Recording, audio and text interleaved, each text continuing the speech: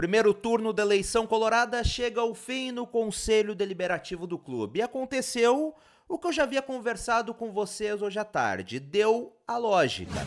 Alessandro Barcelos ganha o primeiro turno da eleição do Internacional. Obviamente que não teve 85% dos votos, como eu já havia dito para vocês, isso era lógico, e terá segundo turno no dia 9 de dezembro. E eu trouxe hoje à tarde a informação de que sim, a tendência era que Barcelos ganhasse, porque hoje tem maioria no Conselho Deliberativo do Internacional. Foram 150 votos para Alessandro Barcelos, 130 votos para Roberto Melo e 21 abstenções. Uma coisa já que começou a me incomodar nisso tudo foi como no primeiro turno de eleição presidencial para o próximo triênio do Internacional, 37 conselheiros simplesmente não aparecerem para votar.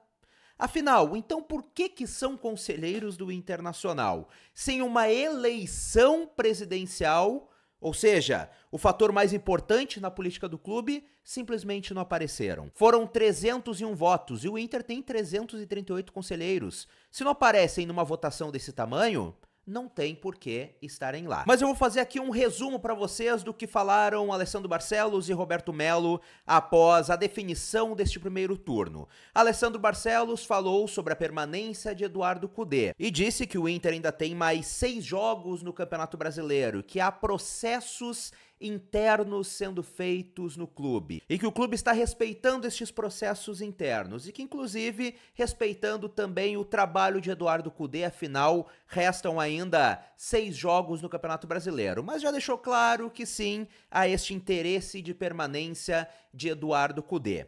Também falou sobre continuidade do trabalho e destacou mais de uma vez que o Inter neste ano ficou entre os quatro melhores times do continente. E que, ao contrário deste primeiro triênio de sua gestão, destes primeiros três anos, o Inter agora tem um poder melhor de negociação, está com as contas mais organizadas, segundo Alessandro Barcelos, o que permite melhores negociações em caso de reeleição. E também falou algo que eu considero muito importante sobre a figura de executivo de futebol que hoje, segundo Alessandro Barcelos, não pode mais existir o super executivo de futebol, o cara que tem a caneta e contrata quem ele quer da maneira que ele quer. Segundo o presidente do Internacional, esta função desta maneira, com superpoderes, está cada vez acabando mais, caindo em desuso e que ele não pretende mais que esta figura apareça no Internacional, um super dirigente.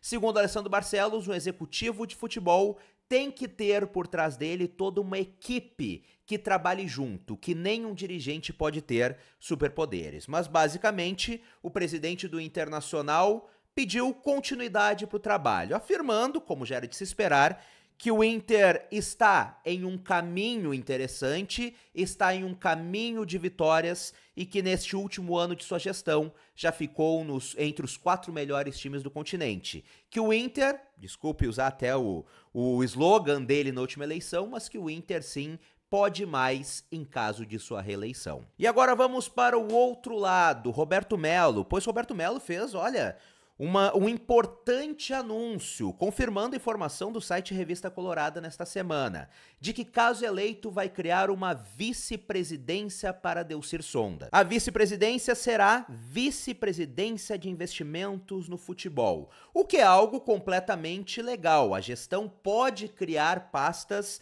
pode criar novas vice-presidências, não tem problema nenhum nisso. Então, Roberto Melo promete, caso eleito, colocar uh, Delcir Sonda como dirigente. Mas teve uma coisa que chamou atenção.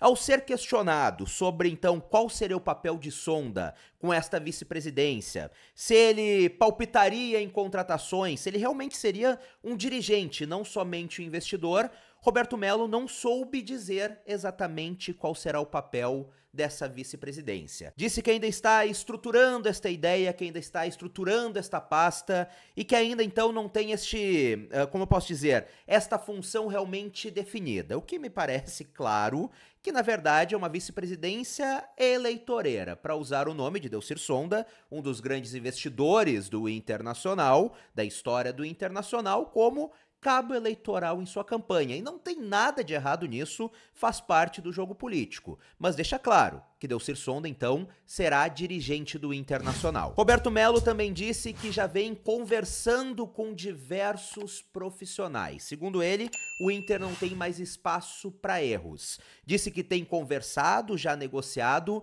com profissionais identificados com o Internacional e também com profissionais que não são identificados com o internacional. Além disso, Melo também falou que Delcir Sonda quer ajudar o internacional no final de sua vida. Foram estas as palavras utilizadas pelo candidato à presidência do Internacional. Esse é basicamente um resumo, bem resumido mesmo, do que ambos os candidatos, o atual presidente Alessandro Barcelos e Roberto Melo, uh, falaram sobre suas visões de futuro em caso de uma eventual eleição. E na noite da segunda-feira, Lucas Alenogari, narrador da Rádio Inferno, um cara que tem contatos dentro do clube, o que é natural, com quem trabalha cobrindo o dia a dia do Internacional, falando o dia a dia do Internacional, disse que recebeu de uma fonte ligada a Roberto Melo que Melo não pretende manter Eduardo Cudê e que Melo trabalha com dois nomes para a próxima temporada. Repito, isto é informação de Lucas da Lenogari da Rádio Inferno. Informação esta que inclusive Lucas Dias da Bandeirantes também trouxe durante esta semana, de que Roberto Melo trabalharia então com dois nomes para a próxima temporada.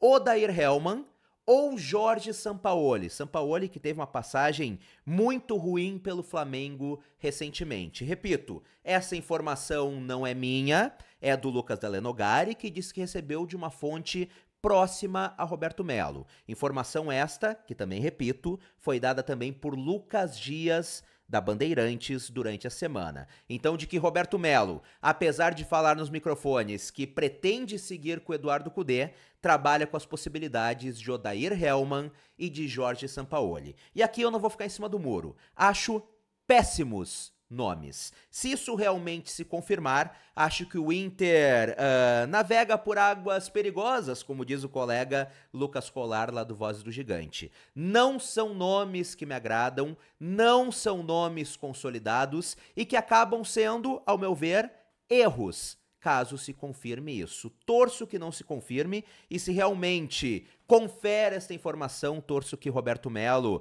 caso eleito, mude de ideia repense, porque são dois treinadores que não têm bons históricos recentes. O trabalho do Odair no Santos não foi nada bom e do Sampaoli então no Flamengo, que pegou uma máquina, também não foi nada bom, perdeu tudo o que disputou. E agora, antes de encerrar o vídeo, eu já te convido a comentar aqui embaixo.